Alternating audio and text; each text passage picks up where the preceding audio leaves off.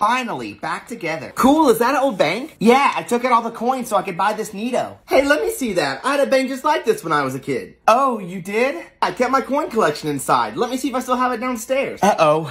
Dad's gonna figure out this is his bank. Just say you got it from a yard sale. I can't, his name's on the bottom. Well, I guess it's not down here. I hear him coming back up. No, I need more time. What the? Kids! Why couldn't I get out? The chair fell over and we couldn't pick it up because you kept pushing the door. Okay, Emma, let me see the bank. Here you go. So this is my bank, but these don't look like my coins. Wasn't this empty a second ago? No. I guess I'm gonna have to open it up.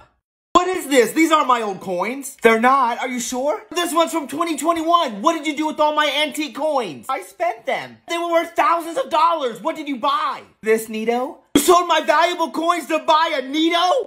So, who'd you sell my coins to? I sold most of them to Hunter. Hunter, what did you do with those coins Emma sold you? Whoa, I didn't realize they were special. I used them for my pizza deliveries around the neighborhood. Emma, get your coat. Why? Because we're going to get my coins.